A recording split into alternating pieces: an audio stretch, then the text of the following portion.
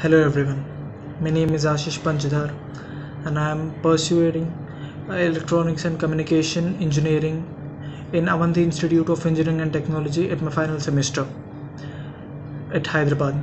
And actually, I was recently placed in an IT services and software company called as ValueMomentum. It's a good MNC. So actually, I have done a course called Demystifying Networking from NPTEL so why I actually done that course? Because I was uh, really confused at the beginning how actually the data works how the data travels from the network host to the routers and then routers to my phone. So after taking up that course I was actually it cleared a lot of my doubts that there are physical layers present at that uh, network layers present. So how the packets travel and they actually taught me the Cisco packet tracer and which actually helped me in a lot of interviews. Thank you